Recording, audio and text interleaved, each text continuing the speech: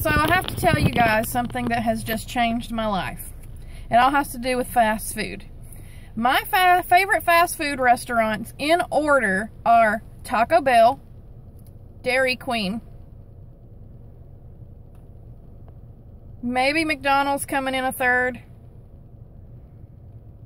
that's about it. Subway maybe at the fourth. I don't know. Somewhere way, way, way at the bottom of fast food in the area where if you're traveling and you're starving, you would still drive past it because there might be something better further down the road is Burger King. I've never been a fan of Burger King. I've always felt like their french fries were soggy and greasy. I'm being photobombed by the kid back here with weird hair. And their burgers were overcooked and dry.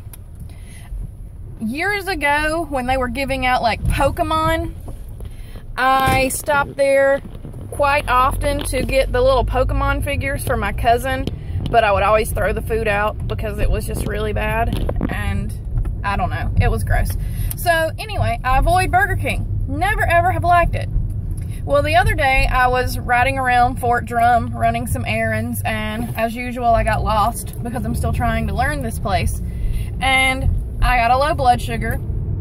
I was hungry, and the only thing I could see was the Burger King.